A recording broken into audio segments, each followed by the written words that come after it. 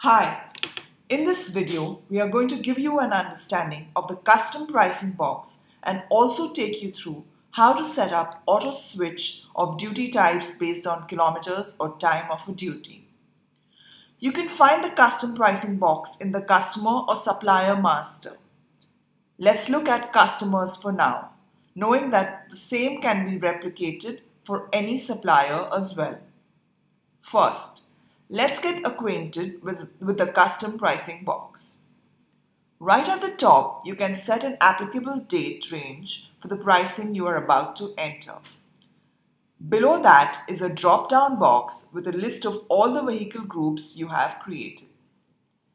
If you have different pricing for each city, you can select the city from this list and enter the pricing accordingly.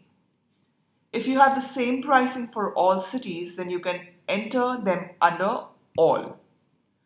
You will find that each of the duty types you have created are visible as rows in this table. The first column is base rate. Here, enter the base rate of the duty type for the vehicle group you have selected. Please note that for outstation of day KM duties, you need to enter the rate as total number of kilometers into cost per kilometer equals to base rate. The next two columns are to be used to enter the rate of extra per kilometer or per hour. This concludes the basic understanding of how to use the pricing box. All the rates of different duty types can be entered in the same way. The next section of this video is understanding auto switch. What is auto switch? Auto switch is a functionality where Indecab auto selects the duty type to be considered on the invoice when a duty is completed based on the kilometers or time of the duty. The aim of creating this functionality is to remove the need for human intervention in the duty type selection process by programmatically selecting a duty type upon duty completion.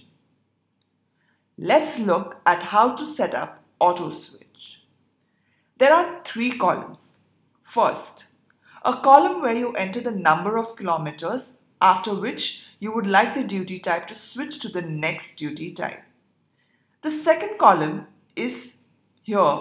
Enter the total time after which the duty type would switch to the next duty type. The third column allows you to create auto switch paths, which identify which duty type the system must choose based on the completed duty kilometers or time. You can set up up to three different auto switch groups for the same customer. Let's try creating two auto switch paths. One, where the duty type base changes based on kilometers of the duty and the other based on time.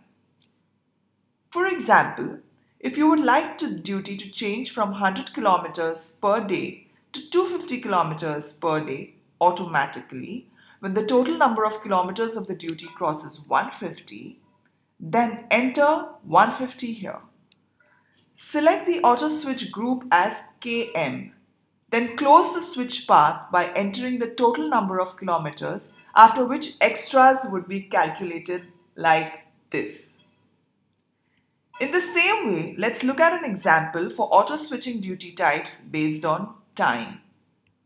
For example, here we would like to switch from a duty type of 1 hour 10 kilometers to 2 hour 20 kilometers after the duty time crosses 1 hour 30 minutes. In this case, you enter 1 hour 30 minutes in this column. Select the auto switch group as time and close the group by entering the time as 2 hours here as well and selecting the same auto switch path.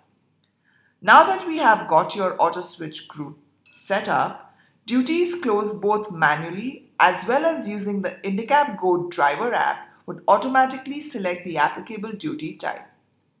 We recommend you try out a few test duties before using this functionality with the rest of your customers.